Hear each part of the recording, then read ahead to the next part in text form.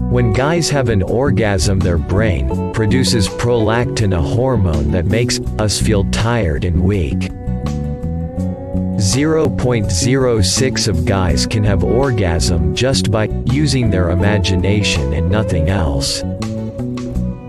While only one out of three women have an orgasm during sex, it's three out of four for guys.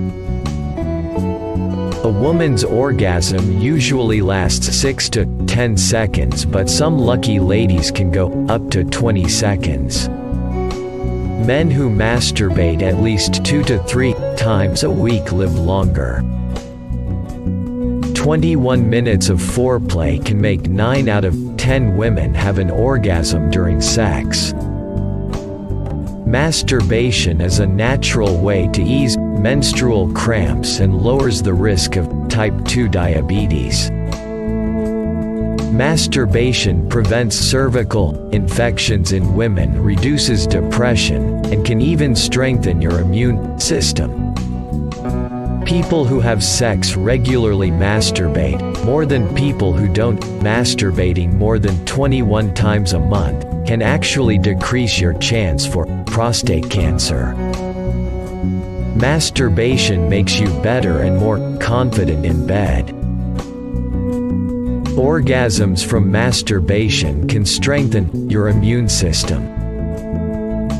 Masturbation also makes us happy. The act of masturbating releases endorphins which cause happy feelings. Women with higher level of testosterone tend to masturbate more frequently.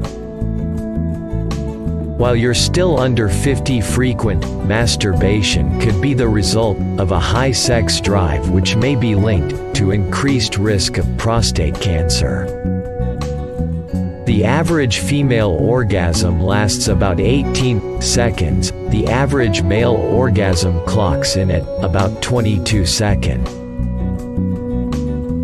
Masturbation leads to a lower chance of diabetes and insomnia. If you go at it too hard you can fracture your own penis. 80 of males have masturbated by age 17, as opposed to 58 of females. By adulthood those numbers rise to 92% of men and 62% of women. 70 of married people admit to masturbating, for better and for worse. 53 of women use toys when masturbating. Only 46 of women report having an orgasm within 3 minutes from masturbation. Physics is to mathematics what sex is to masturbation. The only shame in masturbation is the shame of not doing it well. Masturbation is a meditation on self-love. So many of us are afflicted with self-loathing bad body images shame about our body functions and confusion about sex and pleasure I recommend an intense love affair with yourself. Masturbate, he would have made our arms shorter. Masturbation the primary sexual activity of mankind. In the 19th century it was a disease in the 20th it's a cure. We have reason to believe that man first walked upright to free his hands from masturbation. Intercourse with a woman is sometimes a satisfactory substitute for masturbation, but it takes a lot of imagination to make it work. Masturbation is a democratic pleasure, practiced by rich and poor young and old, married and single. The good thing about masturbation is that you don't have to get dressed up for it. Having sex is like playing bridge, if you don't have a good partner you'd better have a good hand.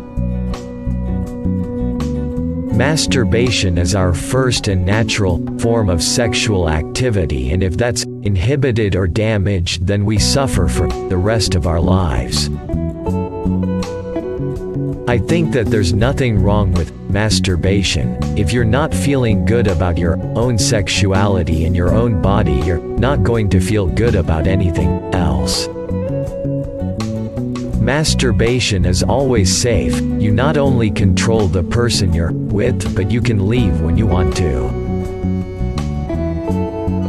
The trouble with internet is that it's replacing masturbation as a leisure activity.